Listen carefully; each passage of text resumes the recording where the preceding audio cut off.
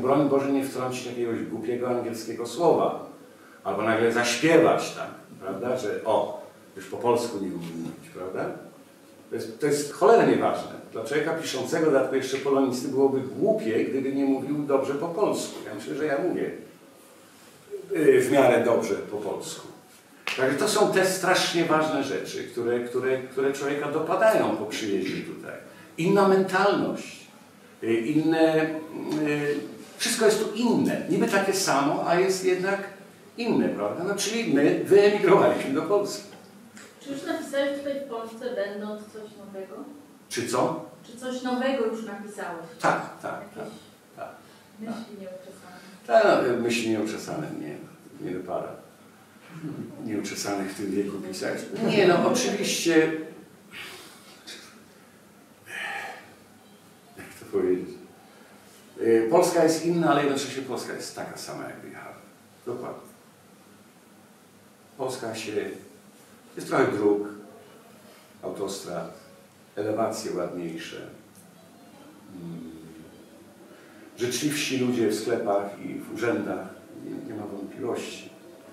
Natomiast y, po ponad pół roku pobytu tutaj, ja mogę, myślę, że mogę to powiedzieć, że mentalnie Polska się nie zmieniła. Dlatego tak łatwo tu nam chyba się żyje. Chciałem Cię zapytać, Roman. Tak, Cześć. cześć. Chciałem Cię zapytać, czy Ty zadawałeś sobie od samego początku, bo ja mam ze sobą tutaj głos pierwszy z Twoją dedykacją. Tak. E, I chciałem Cię zapytać, czy Ty zastanawiałeś się kiedykolwiek, do kogo piszesz? O, dobre pytanie. Uzupełnię może moje pytanie, bo z doświadczenia wiem, że duża grupa młodych ludzi obecnie jest o wiele mniej zdolna do wysiłku fizycznego i intelektualnego w porównaniu z tym, jakie, jaką myśmy postawę reprezentowali, będąc w ich wieku. Tylko, że dobrze, ale wiesz, y, nasi rodzice mówili, że ponieważ nosimy Beatlesówy i chcemy mieć jeansy, że to już koniec świata będzie teraz, prawda? Że my, y, y, to jest mniej widoczne, powiem Ci tak, to jest mniej widoczne w Polsce prawdopodobnie, czego doświadczyłem tam będąc. To znaczy kompletny brak fizycznej aktywności młodych ludzi. Kompletny jest to, jest inter, jest, jest tylko to. To prawda. Tam policzono, że chyba, nie wiem, 8 godzin dziennie dziecko przeciętnie spędzi. Nie ma czegoś takiego Tak, jak... to było uzupełnienie jak gdyby mojego pytania. Tak. Ale powtórzę to, co za... Pierwsze pytanie. To pierwsze, tak. Do kogo piszę? Czy zastanawiałeś się? Nie, ja nie żądam odpowiedzi, że do kogo Ty piszesz, tylko czy Nie, zastanawiałeś no, ja się? też moją pierwszą było to, że to jest ciekawe pytanie. Ja myślę, że ja piszę... Nie... O widzisz, dobrze, ja mam odpowiedź. Ponieważ, ja wspomniałem wcześniej o tym, ponieważ ja, że tak powiem, robiłem swoje przez te wszystkie lata i nadal zamierzam robić swoje, jak gdyby. Yy, W związku z tym ja nawet nie mogłem myśleć o potencjalnym czytelniku, prawda? Kto będzie to czytał. Natomiast poddałem się tej pewnego rodzaju emocjonalno-intelektualnej przygodzie poszukiwania yy, dla własnego, na własny użytek i dla własnego dobra. Po prostu. Bardziej. Bo, bo tu kontekst tego jest, o czym mówiłeś wcześniej, że powinniśmy mówić o tym, jak jest. Tak. Ale żeby o tym mówić, to musimy mieć słuchaczy. Mhm. Natomiast y, w kontekście tego, o czym mówiłem o, o młodzieży, czy może nawet o, i o starszych ludziach, Mhm. oni nie zawsze chcą słuchać. Przecież wiadomo, że badania socjologiczne, które były przeprowadzone Tak. w Polsce, są takie, że przypada dwie dziesiąte książki na jedną osobę w ciągu trzech lat na przykład. Przepraszam. Andrzej, przepraszam, ja zaraz wrócę, dobrze? Przepraszam. Przepraszam.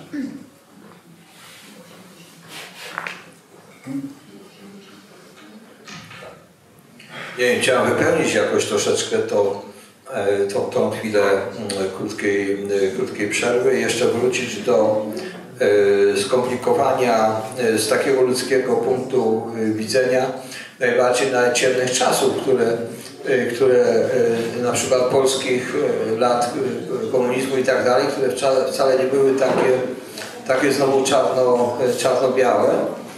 E, Byłem e, w ubiegłym roku e, jesienią e, w, m, zaproszony przez no, praktycznie rząd Węgier w Budapeszcie. Miałem wystąpienie w parlamencie mm, Węgier w rocznicę węgierskiego powstania 56 roku, gdzie e, uważałem Zresztą jako prezes Stowarzyszenia Pisarzy Polskich, jako, jako Polak, jako, jako człowiek związany ze Poznaniem i, i w którym był czerwiec 56 i że nie, mogę, że nie mogę nie pojechać. Chociaż ku mojemu zaskoczeniu nie przyjechał żaden przedstawiciel Ukrainy, Czech, Słowacji, Rumunii, w ogóle, w ogóle nikt poza Węgrami, byłem tylko ja jako reprezentant Polski. Mimo wszyscy inni byli zaproszeni, tak, te rządy są e, do siebie zdystansowane, czy, czy nawet, nawet. I tam e, e, wi- wi- wielkie, ku mojemu zaskoczeniu, brawa, to było tłumaczone na, na, oczywiście na węgierski, ja mówiłem po polsku, otrzymało takie, takie moje zdanie, że mm, czasy komunistyczne e, e, zasługują, e, czy czekają na swój wyraz w powieści, na przykład powieści, która powinna być na miarę Dostojewskiego. Takie to jest ciemne i takie, i takie skomplikowane i to później podkreślała prasa i to się strasznie tam jakoś na taki podatny grunt. Ja przy tym jeszcze mówiłem, że na przykład bitwa pod Grunwaldem czekała prawie 500 lat na swojego, na swojego Sienkiewicza, więc może potrzebny jest nam dystans. Ale właśnie to, to poczucie, że to wszystko było bardzo ciemne, ale było jednocześnie skomplikowane, nie, nie, nie czarno-białe. I na końcu Roman niestety wrócił trochę wcześniej, więc mi odbiera y, czas. Y, Chciałem, y, wtedy kiedy on opowiadał, przypomniał mi się taki wątek, kiedy Znajdujemy się e, w większym środowisku pisarskim e, w siedzibie Służby Bezpieczeństwa, aresztowani w Poznaniu w 1984 roku, ponieważ współorganizowałem e, tajny zjazd, podziemny zjazd środowiska literackiego niezależnego w Poznaniu i to zostało e, spacyfikowane, wy, wykryte i zawieziono nas e, do, na Kochanowskiego do, do gmachu Służby Bezpieczeństwa, nas przesłuchiwano i tak dalej.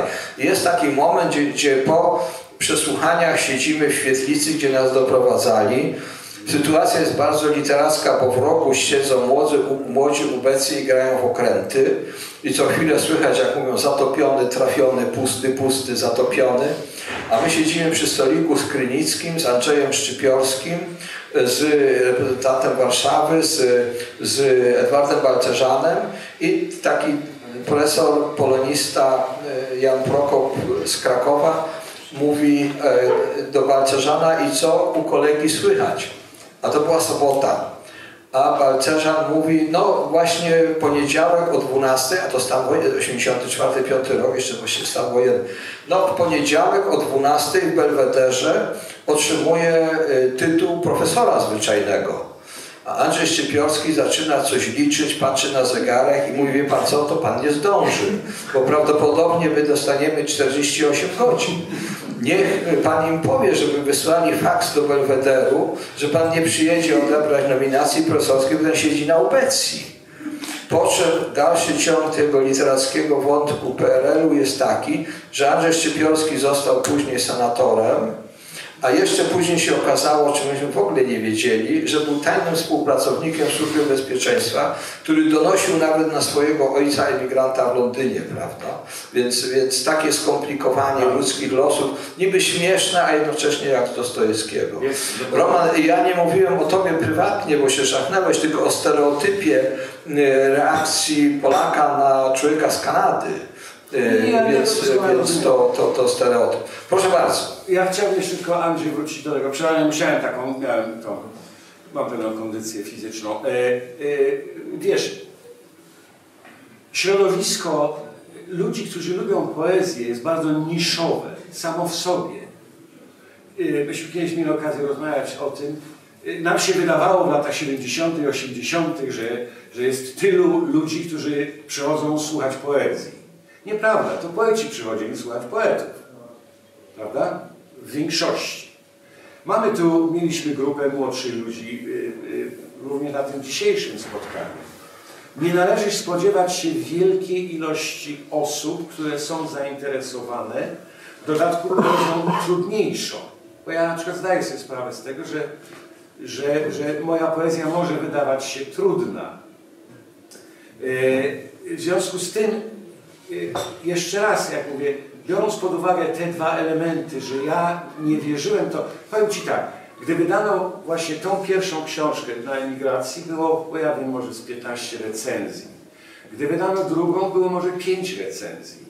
Gdy wydano czwartą książkę, będąc na emigracji, już nikt się tym nie interesował. Już nie było żadnej recenzji. Ja po prostu zniknąłem jak gdyby z radaru, prawda? Przestajesz istnieć. To bardzo szybko. Przychodzą następne pokolenia, przychodzą nowi twórcy, prawdopodobnie zdolniejsi, którzy lepiej trafiają do przedstawicieli swojego pokolenia. I, i tak to się odbywa. A ja nie sądzę, wiesz, ja nie znam się akurat y, bardzo na, na, na socjologii w tym sensie, oprócz tego, że obserwowałem to, co obserwowałem w Kanadzie, to znaczy zatrważającą zupełnie rzecz, polegającą, wiesz, na, na czytałem o tym w gazetach, o, o zjawisku otyłości, czy, czy ociężałości i tak dalej, o, no, żartując, historia autentyczna ze stanu Ohio, gdzie ojciec idzie z synem 18-letnim do urzędu odebrać paszporty dla siebie i dla syna. I urzędnik ma gotowe paszporty. To się dzieje w Stanach Zjednoczonych. Tak jak myśmy opowiadali dowcipy o ruskich w czasach dawnych, tak w Kanadzie się opowiada o Amerykanach. Bo to jest mniej więcej to samo. Mentalnościowo oni się bardzo nie różnią. I on poszedł z tym synem do, y, odebrać paszport i urzędnik mówi, tu jest pana paszport, do tego młodego człowieka. Mówi, proszę podpisać. On mówi, co pan ma na myśli? On mówi, proszę podpisać, tu jest długopis, proszę. Ale o czym panu, jak podpisać? Hmm. No masz tu, młody człowieku, podpisać, że odebrałeś paszport. A mogę panu SMS-a wysłać.